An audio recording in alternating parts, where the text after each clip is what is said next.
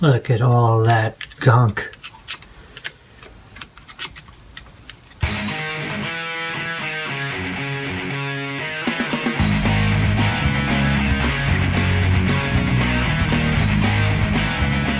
Hello YouTubers, uh, welcome back to my channel and part 15 of my lathe restoration. I shouldn't really call it restoration, I'm just giving this thing a, a good cleaning and uh, have to partly dismantle some of it. But anyway, down to the carriage like I mentioned. Gonna clean all this up.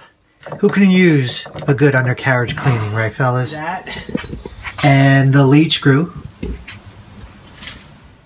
and I think I'm also going to take this apart so I can just get in here and clean it.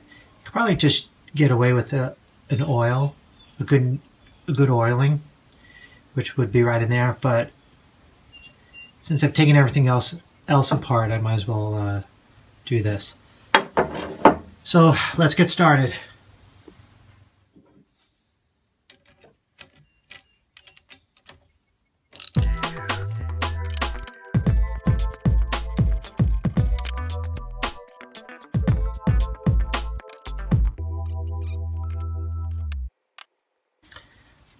Um, I'm glad it's oiled, but it's also very sticky.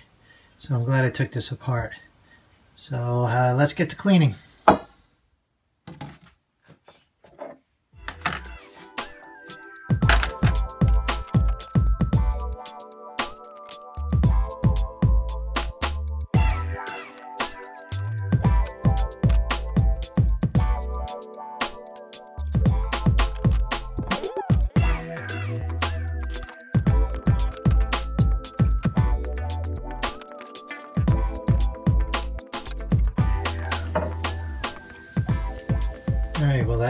Nicely.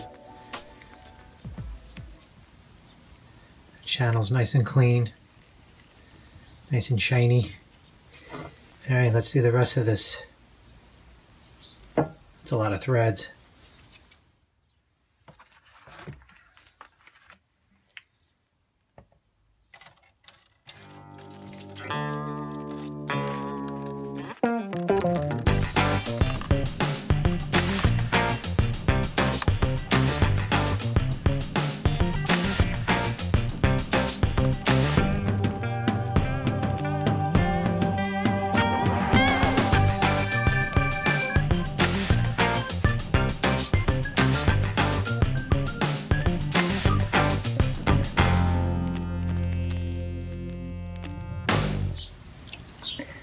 That is the result of all the gunk that came off of that lead screw.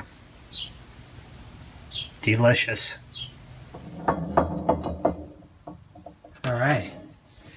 Well, I spent about an hour, a little over an hour cleaning this up and I'm really happy with the results.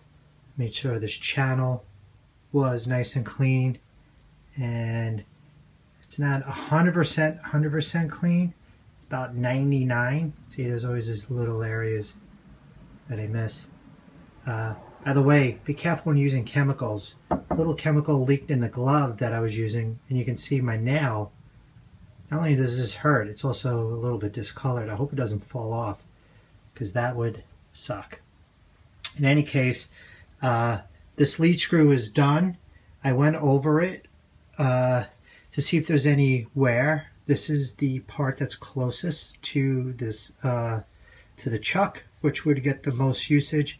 And I think there's a tiny bit of wear on the threads, but nothing really too horrible. Uh, I actually thought it was worse, but it was so caked in with gunk and whatever, it made the threads look like they were worn out. But once I cleaned out in between the threads, everything looks really good. So I am happy with that. And now on to the carriage.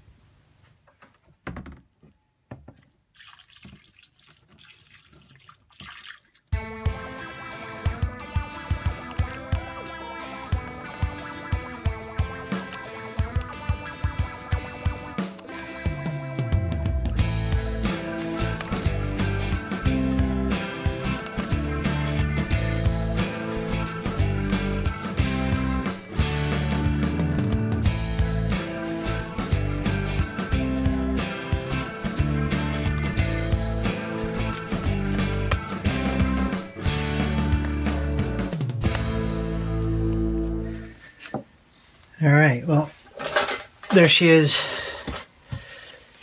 all cleaned up.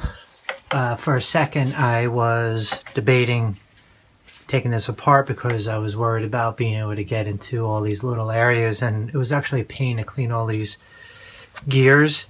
Uh, I actually I had to go in with uh, this little pick and clean each one individually, but she is clean and dried. I'm just going to lube her up with some WD, uh, just a little bit. Um, that cleaner leaves a white film on everything, and I usually uh, wash it down with ammonia.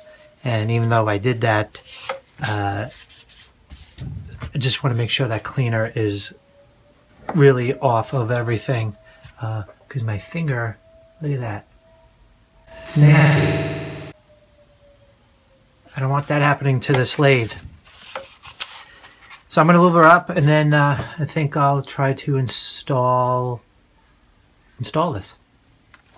Before I do install this, I had bought replacement washers, felt washers, and these rubber, uh, I don't know what these are, but these go with them, um, rubber supports. So since since this is off and upside down, I figured I'd change these out. Uh, these felt I didn't know how old they were or how worn they were, and also with that cleaning and ammonia, it probably the felt probably soaked everything up. So I'm just going to remove these four and replace them with the new stuff.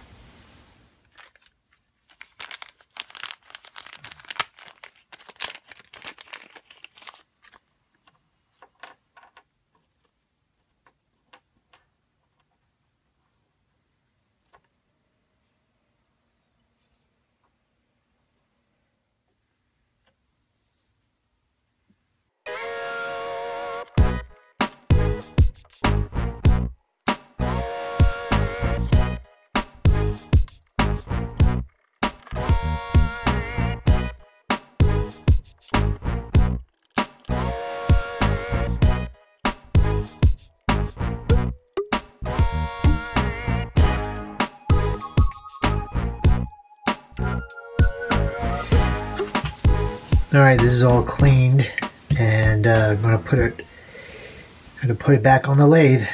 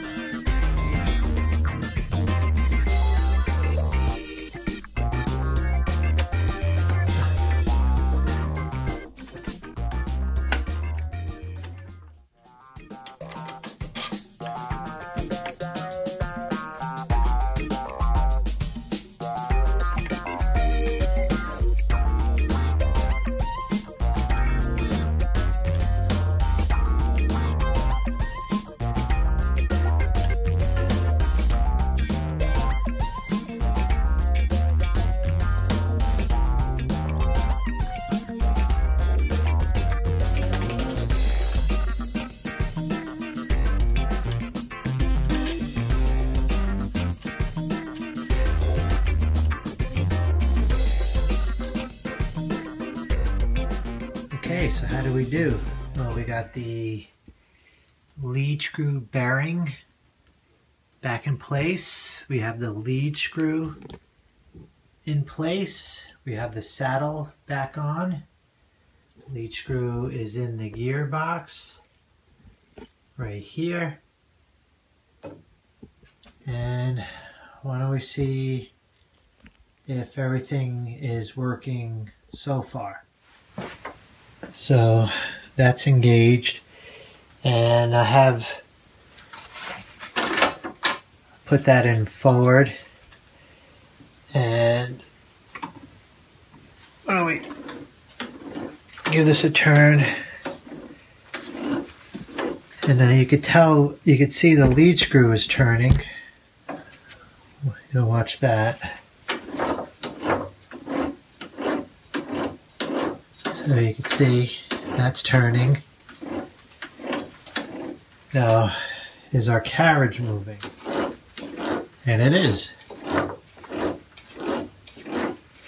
It's hard to tell if the carriage is moving. This part is moving, but it is. Tiny, tiny little increments. And we'll switch it into reverse. The wheels should start turning the other way.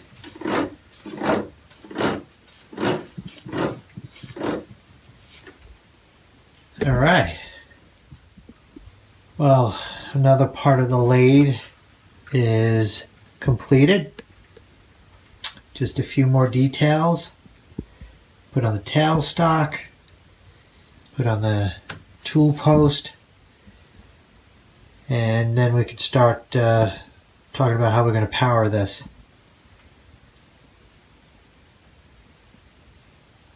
You know what? Let me throw that stuff on now.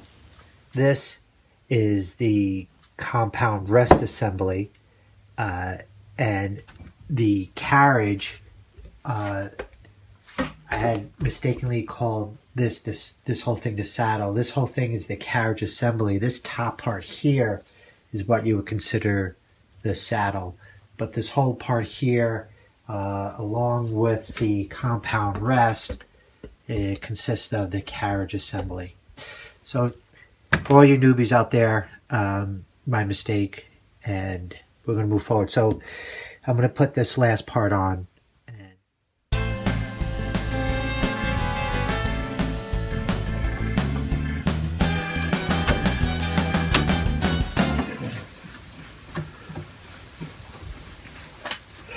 Uh, before I put this on, I had put some oil down on all this so it would move nice and smooth.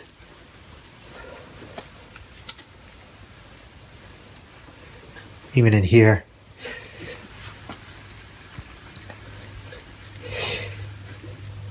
So that's on there. I'm gonna put my tool holder in here just to see how everything lines up.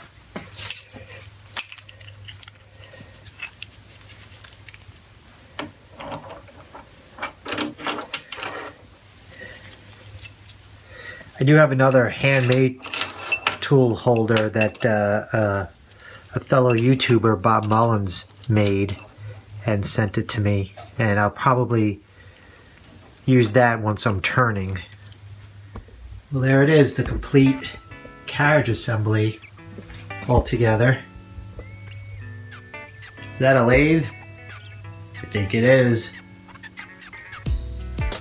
Alright guys, thanks for watching. And stay tuned, there's still more to do.